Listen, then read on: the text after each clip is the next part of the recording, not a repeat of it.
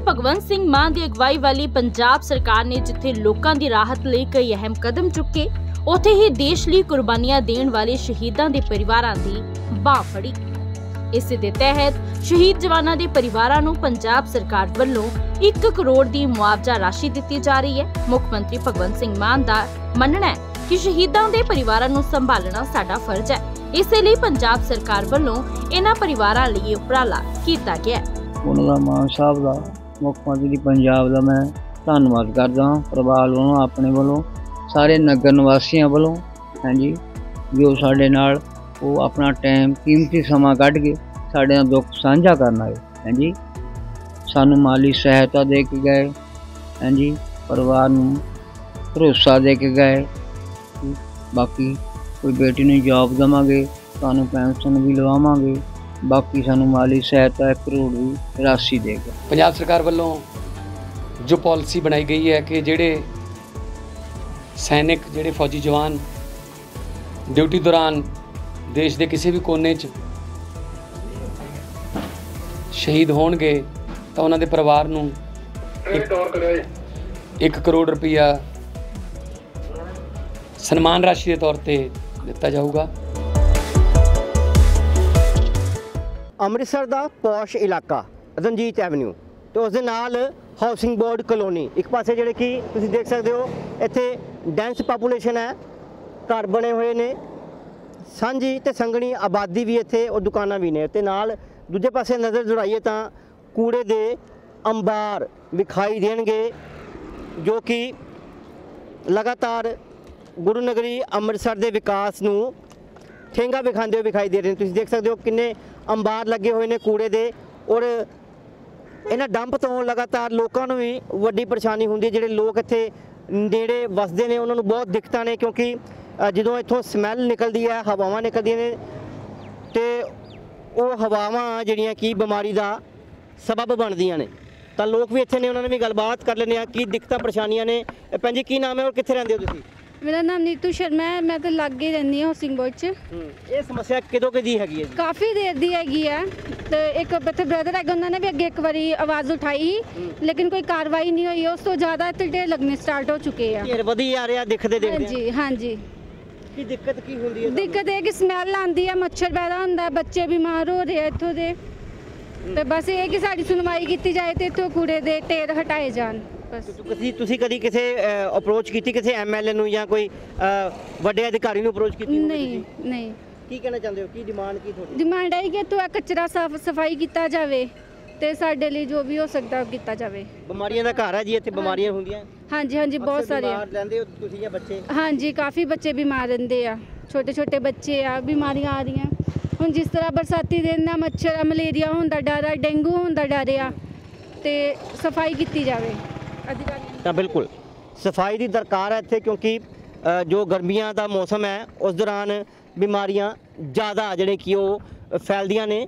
ਤਾਂ ਜੇ ਅਜਿਹੇ ਹਾਲਾਤ ਹੋਣ ਤਾਂ ਬਹੁਤ ਮੁਸ਼ਕਲ ਹੁੰਦੀ ਹੈ ਆਸੇ-ਪਾਸੇ ਜਿਹੜੇ ਲੋਕ ਵਸਦੇ ਨੇ ਉਹਨਾਂ ਨੂੰ। ਤਾਂ ਮੇਰੇ ਨਾਲ ਸਮਾਜ ਸੇਵਕ ਪਵਨ ਸ਼ਰਮਾ ਨੇ, ਕਿਉਂਕਿ ਹਰ ਮੁੱਦੇ ਤੇ ਬੇਬਾਕੀ ਨਾਲ ਆਪਣੀ ਗੱਲ ਰੱਖਦੇ ਨੇ। ਤਾਂ ਉਹਨਾਂ ਨਾਲ ਵੀ ਗੱਲਬਾਤ ਜ਼ਰੂਰ ਕਰਾਂਗੇ। ਭਾਜੀ ਕੀ ਹਾਲਾਤ ਬਣੇ ਹੋਏ ਨੇ ਇੱਕ ਪਾਸੇ? ਇੰਨੀ ਡੈਂਸ ਪਾਪੂਲੇਸ਼ਨ ਹੋਵੇ ਦੂਜੇ ਪਾਸੇ ਇਹ ਕੂੜੇ ਦੇ ਢੇਰ ਲੱਗੇ ਹੋਏ ਨੇ ਡੰਪ ਬਣੇ ਹੋਏ ਨੇ। ਦੇਖੋ ਸਿਕੰਦਰ ਜੀ ਕਿੰਨੀ ਸ਼ਰਮਨਾਕ ਹਾਲਾਤ ਆ ਕਿੰਨੀ ਮਾੜੀ ਕਾਰਗਰਦਗੀ ਆ ਮਿਊਨਿਸਪਲ ਕਾਰਪੋਰੇਸ਼ਨ ਅੰਮ੍ਰਿਤਸਰ ਦੀ ਅੰਮ੍ਰਿਤਸਰ ਡਿਵੈਲਪਮੈਂਟ ਅਥਾਰਟੀ ਦੀ ਕਿਉਂਕਿ ਇਸ ਹਾਊਸਿੰਗ ਬੋਰਡ ਕਾਲੋਨੀ ਦਾ ਕੁਝ ਇੱਕ ਏਰੀਆ ਏਡੀਏ ਵੱਲੋਂ ਹੈਂਡਲ ਕੀਤਾ ਜਾਂਦਾ।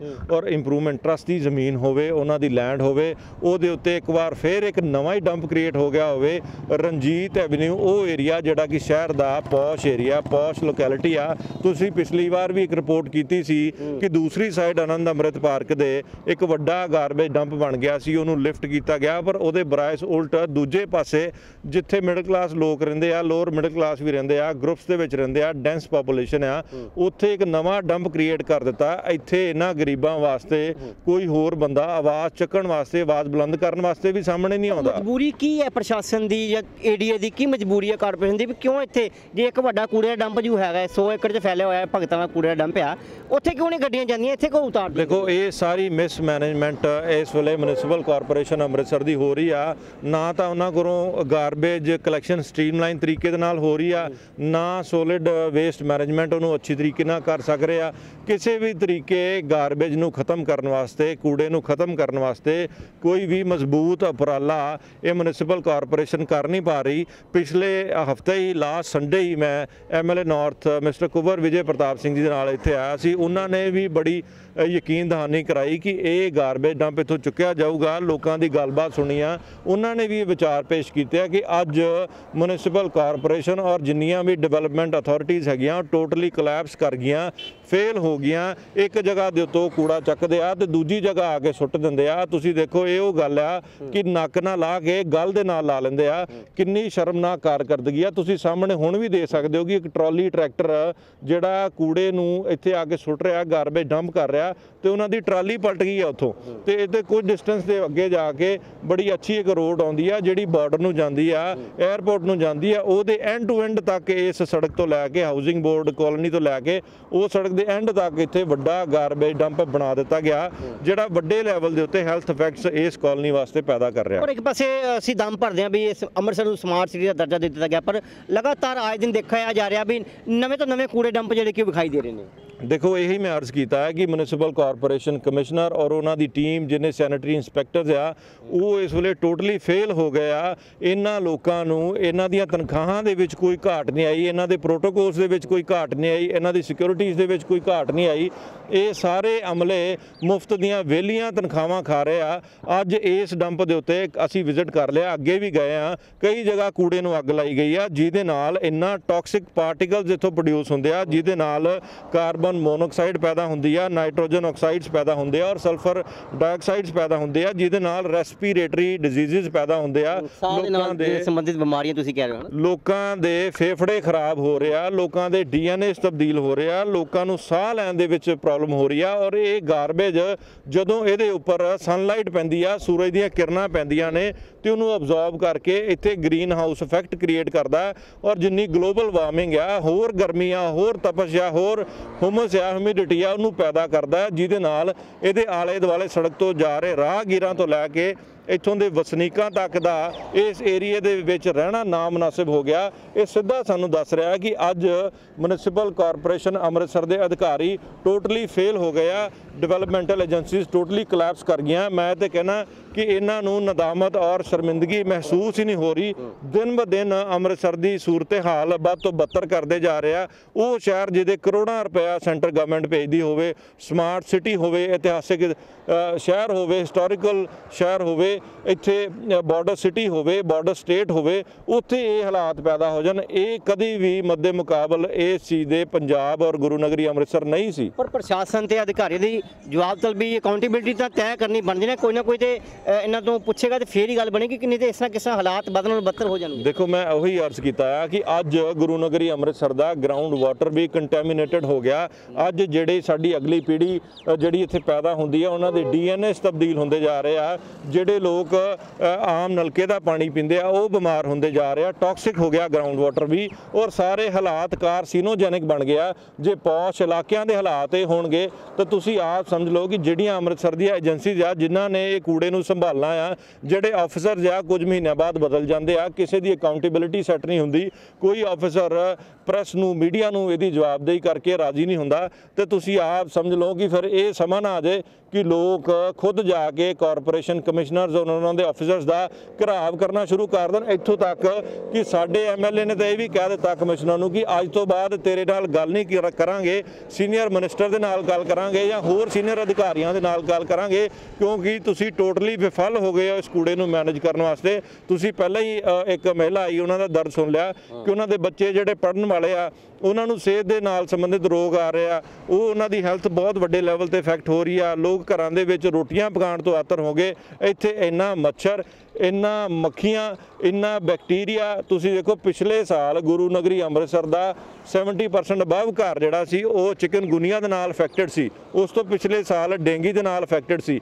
ਫਿਰ ਇਸ ਵਾਰ ਫਿਰ ਮਿਊਨਿਸਪਲ ਕਾਰਪੋਰੇਸ਼ਨ ਕੋਈ ਕਾਰਗਰਦਗੀ ਨਹੀਂ ਕਰ ਰਹੀ, ਜਿਹਦੇ ਕਰਕੇ ਆਮ ਲੋਕਾਂ ਨੂੰ, ਸ਼ਹਿਰੀਆਂ ਨੂੰ ਬਚਾਇਆ ਜਾ ਸਕੇ। ਲੋਕਾਂ ਦੀਆਂ ਕੀਮਤੀ ਜਾਨਾਂ ਜਿੱਥੇ ਨਾਰਕੋ ਟੈਰਰਿਜ਼ਮ ਬਹੁਤ ਜ਼ਿਆਦਾ ਆ, ਜਿੱਥੇ ਹੋਰ ਬਹੁਤ ਸਾਰੀਆਂ ਖਾਮੀਆਂ, ਕਮੀਆਂ ਪੰਜਾਬ ਦੇ ਵਿੱਚ ਹੈਗੀਆਂ। ਉੱਥੇ ਅੱਜ ਪੰਜਾਬ ਦੇ ਬਹੁਤੇ ਸ਼ਹਿਰਾਂ ਦੇ ਵਿੱਚ, ਜਿਵੇਂ ਕਿ ਗੁਰੂ ਨਗਰੀ ਅੰਮ੍ਰਿਤਸਰ ਦੇ ਵਿੱਚ ਕੂੜੇ ਦਾ ਬਹੁਤ ਵੱਡਾ ਟੈਰਰਿਜ਼ਮ ਫੈਲ ਗਿਆ ਹਰ ਜਗ੍ਹਾ ਦੇ ਉੱਤੇ ਕੂੜਾ ਆ ਔਰ ਜਿਹੜੀਆਂ ਏਜੰਸੀਜ਼ ਆ ਮਿਊਨਿਸਪਲ ਕਾਰਪੋਰੇਸ਼ਨ ਆ ਇਹ ਕੋਈ ਖਾਲੀ ਪਲਾਟ ਵੀ ਦੇਖਦੀਆਂ ਤੇ ਉਹਦੇ ਉੱਪਰ ਲਿਆ ਕੇ ਕੂੜਾ ਡੰਪ ਕਰ ਦਿੰਦੀਆਂ ਇਹਨਾਂ ਨੂੰ ਪੁੱਛਣ ਵਾਲਾ ਹੀ ਕੋਈ ਨਹੀਂ। ਮੈਂ ਸਿੱਧੇ ਸਪਸ਼ਟ ਸ਼ਬਦਾਂ ਦੇ ਵਿੱਚ ਇਹ ਕਹਿਣਾ ਚਾਹੁੰਦਾ ਕਿ ਮਿਊਨਿਸਪਲ ਕਾਰਪੋਰੇਸ਼ਨ ਦੇ ਸਾਰੇ ਅਧਿਕਾਰੀ ਇਹ ਗੱਲ ਸੁਣ ਲੈਣ ਇੰਪਰੂਵਮੈਂਟ ਟਰਸਟ ਦੇ ਸਾਰੇ ਇਹ ਅਧਿਕਾਰੀ ਗੱਲ ਸੁਣ ਲੈਣ ਕਿ ਫਿਰ ਇਹ ਨਾ ਹੋਵੇ ਕਿ ਜਦੋਂ ਤੁਸੀਂ ਫਿਰ ਰੂਟ ਦੇ ਉੱਤੇ ਨਿਕਲੋ ਰੋਡ ਦੇ ਉੱਤੇ ਆਓ ਕੂੜੇ ਨੂੰ ਦੇਖਣ ਆਓ ਤੇ ਫਿਰ ਲੋਕ ਤੁਹਾਨੂੰ ਇੱਥੇ ਹੀ ਇਸ ਕੂੜੇ ਦੇ ਵਿੱਚ ਢਾਹ ਕੇ ਤੇ ਤੁਹਾਨੂੰ ਵੀ ਇਹਦੇ ਨਾਲ ਹੀ ਡੰਪ ਕਰ ਦੇਣ। ਇਸ ਤੋਂ ਪਹਿਲਾਂ ਇਹ ਸਥਿਤੀ ਪੈਦਾ ਹੋ ਜੇ, ਇਹ ਖਤਰਾ ਤੁਹਾਡੇ ਲੋਕਾਂ ਲਈ ਪੈਦਾ ਹੋ ਜੇ, ਤੁਸੀਂ ਇਕੱਲੇ ਸੜਕਾਂ ਤੇ ਨਾ ਜਾ ਸਕੋ। ਪਹਿਲਾਂ ਹੀ ਲੋਕਾਂ ਦੀ ਆ ਕੇ ਸਾਰ ਲੈਣੀ ਸ਼ੁਰੂ ਕਰ ਦਿਓ ਇਸ ਕੂੜੇ ਦਾ ਕੋਈ ਸਫਲ ਤਰੀਕੇ ਦੇ ਨਾਲ ਹੱਲ ਕਰੋ। ਜੋ ਵੀ ਚੀਜ਼ਾਂ ਬਾਇਓ ਰੈਮੀਡੀਏਸ਼ਨ ਚਾਹੀਦੀ ਆ, ਜੋ ਵੀ ਇਹਨੂੰ ਟੈਕਲ ਕਰਨ ਵਾਸਤੇ ਮਸ਼ੀਨਰੀ ਚਾਹੀਦੀ ਆ। ਉਹ ਸਾਰੀਆਂ ਸਰਕਾਰ ਕੋਲੋਂ ਮੰਗ ਲਓ, ਉਹ ਸਾਰੀਆਂ ਐਮਐਲਏਸ ਕੋਲੋਂ ਮੰਗ ਲਓ। ਏਜੰਸੀ ਨੂੰ ਅੱਛੀ ਤਰੀਕੇ ਦੇ ਨਾਲ ਚਲਾਓ। ਇਹ ਨਾ ਹੋਵੇ ਕਿ ਲੋਕ ਫਿਰ ਕਾਨੂੰਨ ਆਪਣੇ ਹੱਥਾਂ ਦੇ ਉੱਤੇ ਲੈ ਕੇ ਇਹ ਸਾਰਾ ਕੂੜਾ ਚੱਕ ਕੇ ਕਾਰਪੋਰੇਸ਼ਨ ਕਮਿਸ਼ਨਰ ਦੇ ਦਫ਼ਤਰ ਦੇ ਅੱਗੇ ਸੁੱਟ ਦੇਣ ਜਾਂ ਕਾਰਪੋਰੇਸ਼ਨ ਦੇ ਅੱਗੇ ਸੁੱਟ ਦੇਣ, ਜਿਹਦੇ ਨਾਲ ਸਾਰੇ ਪੰਜਾਬ ਦੇ ਵਿੱਚ, ਦੇਸ਼ ਦੇ ਵਿੱਚ, ਦੁਨੀਆ ਦੇ ਵਿੱਚ ਗੁਰੂ ਨਗਰੀ ਅੰਮ੍ਰਿਤਸਰ ਦੀ ਮਿਊਨਿਸਪਲ ਕਾਰਪੋਰੇਸ਼ਨ ਦੀ ਬਦਹਾਲੀ ਦੀ ਤਸਵੀਰ ਕਦ- ਖੁਦਾ ਨਾ ਖਾਸਤਾ ਲੋਕਾਂ ਦੇ ਸਾਹਮਣੇ ਜਾਏ। ਬਿਲਕੁਲ ਜੀ, ਬਿਲਕੁਲ ਵਿਸਫੋਟਕ ਸਥਿਤੀ ਲਗਾਤਾਰ ਬਣਦੀ ਜਾ ਰਹੀ ਹੈ। ਅੰਮ੍ਰਿਤਸਰ ਵਿੱਚ ਖਾਸ ਕਰਕੇ ਜੇ ਗੱਲ ਕਰੀਏ ਤਾਂ ਕੂੜੇ ਦੇ ਢੇਰ ਜਿੱਥੇ ਕਿ ਮਰਜ਼ੀ ਨਜ਼ਰ ਦੌੜਾ ਲਓ, ਉੱਥੇ ਵਿਖਾਈ ਦੇ ਜਾਂਦੇ ਨੇ। ਨਵੇਂ ਡੰਪ ਬਣ ਰਹੇ ਨੇ, ਜਿਹੜਾ ਕਿ ਹੁਣ ਇਹ ਨਵਾਂ ਡੰਪ ਹਾਊਸਿੰਗ ਬੋਰਡ ਕਲੋਨੀ ਦੇ ਬਾਹਰ ਬਣਿਆ ਹੋਇਆ ਹੈ, ਜਿੱਥੇ ਕਿ ਇੱਕ ਪਾਸੇ ਡੈਂਸ ਪਾਪੂਲੇਸ਼ਨ ਯਾਨੀ ਕਿ ਸੰਘਣੀ ਆਬਾਦੀ ਹੈ ਤਾਂ ਦੂਜੇ ਪਾਸੇ ਕੂੜੇ ਦੇ ਢੇਰ ਲੱਗੇ ਹੋਏ ਨੇ। ਤੇ ਇਸ ਹਾਲਾਤਾਂ ਵਿੱਚ ਜੇਕਰ ਕਾਰਪੋਰੇਸ਼ਨ ਦੇ ਅਧਿਕਾਰੀ ਔਰ ਵੱਡੇ ਉੱਚ ਅਧਿਕਾਰੀ ਜੇਕਰ ਨਹੀਂ ਸੋਚਣਗੇ ਤਾਂ ਕੌਣ ਸੋਚੂਗਾ ਅਕਾਊਂਟੇਬਿਲਟੀ ਵੀ ਤੈਅ ਕਰਨੀ ਪਵੇਗੀ ਜੇਕਰ ਕੋਈ ਅਧਿਕਾਰੀ ਕੰਮ ਨਹੀਂ ਕਰਦਾ ਤਾਂ ਉਸ ਦੀ ਜਵਾਬਦਲ ਵੀ ਤੈਅ ਕਰਨੀ ਪਵੇਗੀ ਕਿਉਂਕਿ ਲਗਾਤਾਰ ਕੂੜੇ ਦੇ ਡੰਪ ਜਿਹੜੇ ਕਿ ਉਹ ਵੱਧਦੇ ਜਾ ਰਹੇ ਨੇ ਜਿਸ ਨਾਲ ਲੋਕਾਂ ਦੀ ਸਿਹਤ ਨਾਲ ਸਿੱਧਾ ਸਿੱਧਾ ਖਿਲਵਾੜ ਕੀਤਾ ਜਾ ਰਿਹਾ ਜੇ ਗੱਲ ਕਰ ਲਈਏ ਅੰਮ੍ਰਿਤਸਰ ਦੀ, ਤਾਂ 600 ਮੀਟ੍ਰਿਕ ਟਨ ਜਿਹੜਾ ਕੂੜਾ ਹੈ, ਡੇਲੀ ਜਿਹੜਾ ਕਿ ਉਹ ਇੱਥੇ, ਇੱਥੋਂ ਭਗਤਾਂ ਦਾ ਡੰਪ ਤੇ ਪਹੁੰਚਾਇਆ ਜਾਂਦਾ ਹੈ। ਅੰਮ੍ਰਿਤਸਰ ਸ਼ਹਿਰ ਵਿੱਚ 600 ਮੀਟ੍ਰਿਕ ਟਨ ਕੂੜਾ ਜਿਹੜਾ ਇਕੱਠਾ ਹੁੰਦਾ ਪਰ ਵੇਖਣ ਵਿੱਚ ਇਹੀ ਆ ਰਿਹਾ ਹੈ ਕਾਰਪੋਰੇਸ਼ਨ ਤੇ ਨਾਲ ਨਾਲ ਜਿਹੜੀ ਉਹਨਾਂ ਨੇ ਕੰਪਨੀ ਹਾਇਰ ਕੀਤੀ ਹੈ, ਉਹ ਜਿੱਥੇ ਮਰਜ਼ੀ ਕੂੜੇ ਦਾ ਡੰਪ ਬਣਾ ਰਹੇ ਨੇ, ਜਿਸ ਕਰਕੇ ਲਗਾਤਾਰ ਲੋਕਾਂ ਨੂੰ ਦਿੱਕਤਾਂ, ਦੁਸ਼ਵਾਰੀਆਂ ਜਿਹੜੀ ਕਿ ਉਹ ਹੋ ਰਹੀਆਂ ਨੇ। ਇਸ ਕਰਕੇ ਵਿਸਫੋਟਕ ਸਥਿਤੀ ਤੋਂ ਪਾਰ ਪਾਉਣ ਵਾਸਤੇ ਸਾਡਾ ਸਾਰਿਆਂ ਦਾ ਇਹ ਫਰਜ਼ ਬਣਦਾ ਹੈ, ਖਾਸ ਕਰਕੇ ਕਾਰਪੋਰੇਸ਼ਨ ਦਾ, ਨਾਲ ਅੰਮ੍ਰਿਤਸਰ ਇੰਪਰੂਵਮੈਂਟ ਟਰਸਟ ਦਾ, ਵੀ ਜੋ ਵੀ ਕੂੜਾ ਜਿੱਥੇ ਸੁੱਟਣਾ ਚਾਹੀਦਾ ਹੈ ਜਿਹੜੀ ਜਗ੍ਹਾ ਜਿਹੜੀ ਕਿ ਤੈਅ ਕੀਤੀ ਗਈ ਹੈ ਭਗਤਾਂ ਵਾਲਾ ਕੂੜਾ ਡੰਪ ਉੱਥੇ ਕੂੜਾ ਡੰਪ ਕਰਨਾ ਚਾਹੀਦਾ ਹੈ ਨਾ ਕਿ ਕਿਤੇ ਹੋਰ ਕੂੜੇ ਦਾ ਨਵਾਂ ਡੰਪ ਬਣਾਉਣਾ ਚਾਹੀਦਾ ਹੈ ਕੈਮਰਾ ਪਰਸਨ ਵਿਪਨ ਸ਼ਰਮਾ ਨਾਲ ਸਿਕੰਦਰ पसरीचा दैनिक सवेरा टीवी अमृतसर देश दुनिया की हर खबर सबसे पहले देखने के लिए फॉलो करें Dainik Savera TV YouTube Facebook Instagram X और व्हाट्सएप चैनल पर।